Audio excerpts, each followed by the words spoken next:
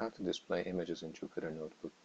The easiest way would be using display module and importing image function from that, which I am doing here. And then I can just use image function in its basic uh, version uh, to just, let's say, um, call the and show the IPython tutorial JPEG that I have here located in this path in my computer. Um, so there you go. Just be careful um, if using it without path, the expectation is that image should exist in the root directory, the same directory that your IPython notebook is located. In this case, this IPython tutorial.jpg is not there. So if I do it this way without the path, without specifying the path, then there is an error. Um, so I'm commenting it out and I'm using this one that specifies the path. Then I can also use the image function to just uh, assign the image to an object, test.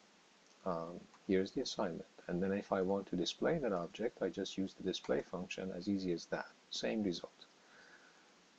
The next, the next thing that you might be interested to do with the image function is showing an image from an online source. In this case, this image, Mars Rover 2020, is located in this HTTP address.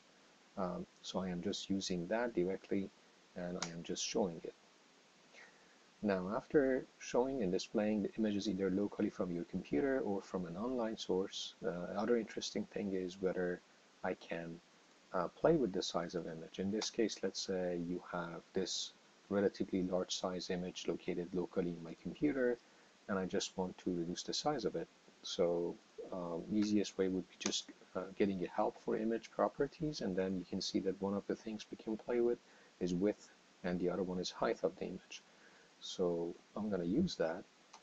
Um, in this case, I'm going to use image function and I'm going to just say width of what is, what is going to be shown is 40 pixels and the file name in this case need to be specified which is the same file Cool Illusion as uh, the image shown above.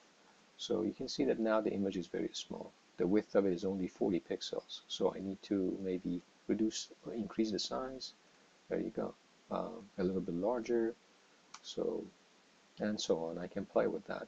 By the way, one other cool thing is image function can show the GIF, not just JPEG. So there you go. In this case, uh, with a small size 20, uh, I'm going to increase the size to say 400.